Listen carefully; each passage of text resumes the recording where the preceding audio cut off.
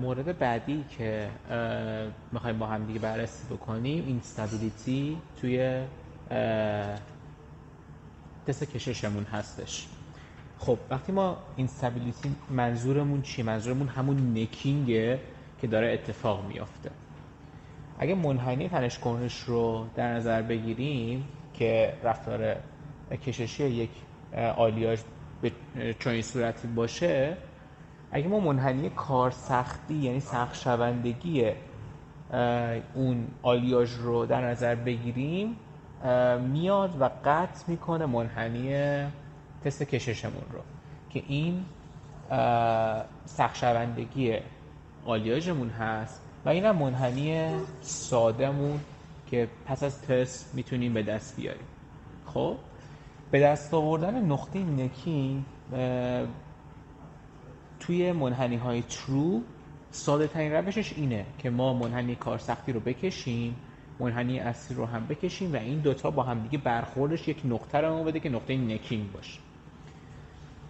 اما ما گفتیم که رفتار سخت شوندگی در بخش تنسایل به این صورته. با این فرمول معلوم میشه قابل اثباته. و یک نقطه هم برخورد این دوتاست که دی سیگما به دی اپسیلون برابر یک تنشیه توی اینجا. خب؟ حالا ما اگر این دوتا فرمول رو از سمت چپ با هم دیگه برابر قرار بدیم به این موضوع می‌رسیم که توان کارسختیمون برابر است با کرنش یو تی یعنی اگر ما یو تی رو داشته باشیم می‌تونیم توان کارسختیمون رو به دست بیاریم. خب. حالا موضوع بعدی که هست دیستریبیوشن تنش توی نقطه نکینگ هستش. ما وقتی نقطه نکینگ اتفاق میافته یک تنش سمهوری بهش اعمال میشه. این تنش سمهوری سه تا تنش داریم. یه دونه سیگمای اپلایده که تنش اصلی که داره وارد میشه. یه سیگمای آره که تنش شعایی هستش و تنش مماسی هم که سیگمای تی هستش.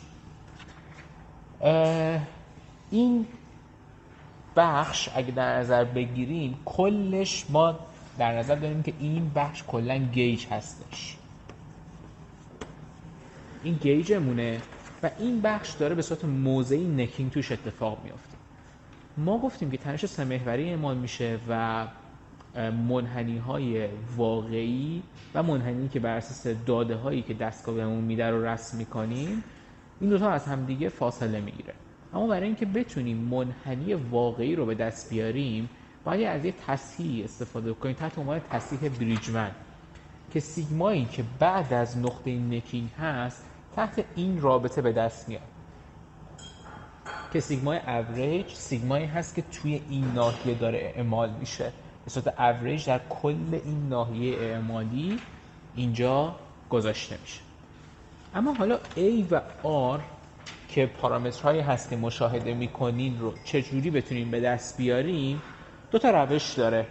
یه دونه این که بعد از نکینگ نمونه تست رو قطع بکنیم و بیاریم بیرون بعد اینو اندازه بزنیم که کار عاقلانه هست یا اینکه از منابعمون استفاده بکنیم.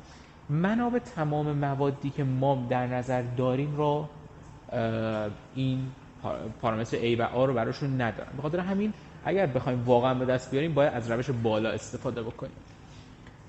اما اندازه گیری ductility. ما ductility کلمون که گفتیم توی بخش پلاستیک هست شامل uniform plastic deformation و non-uniform plastic deformation خب اگر ما LF و منهای L صفرمون بکنیم میشه آلفای به علاوه یو ال صفر. این رابطه ایه که هست. خب؟ آلفا مربوط به چیه؟ مربوط به non-uniform elongation ه و یو ال صفر مربوط به یونیفورم الانگیشن هستش. اگه این دو طرف رو تقسیم به ال بکنیم این طرف کرنش مهندسی ما رو بهمون میده. مساوی آلفا به ال صفر به علاوه ای یو خب؟ حالا باربا ته تحقیقاتی که کرده گفته آقا این بخش نان یونیفورم که آلفا هست برابر یک رابطه برابر بتا رادیکال آصفر که آصفر سطح مقطع اولیه است و بتا یک عدد ثابت. اما این عدد ثابت بتا به چه چیزهایی می‌تونه وابسته باشه؟ ما گفتیم بخش آلفا بخش نان یونیفرم دیفورمیشنمونه و با یه پارامتری تحت عنوان بتا رابطه داره. حالا این بتا مربوط به بعد از نکینگمونه. بعد از نکینگ ما گفتیم هم کارسختی داریم هم نکینگمون به پارامتر حساسیت نرخ کنش تاثیر داره روش و همین که بعد از اعمال بار و بودن چون این شرایطی انایزوتروپی هم با توجه به تنش های مختلفی که داریم اعمال می‌کنیم تاثیر گذاره با دارم یه پارامتر آری هم تعریف میشه. پس بتا به این سه مورد وابسته است که اگر مثلا بخوایم اینو بررسی بکنیم خب تحقیقات پیچیده ای رو نیازمنده که ما به دست بیاریم.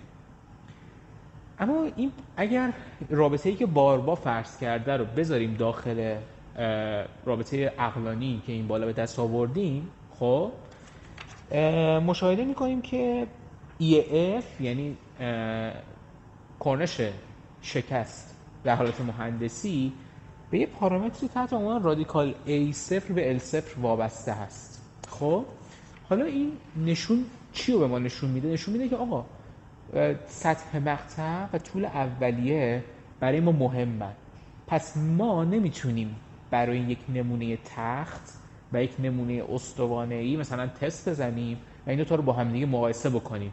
چون سطح مقطع متفاوت. خب حالا برای اینکه این مشکل برطرف بشه یک سری استاندارد هایی رو برای ما اومدن صحبت کردن.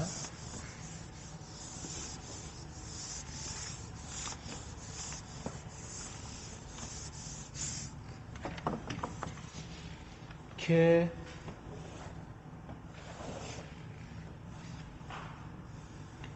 L0 به رادیکال A0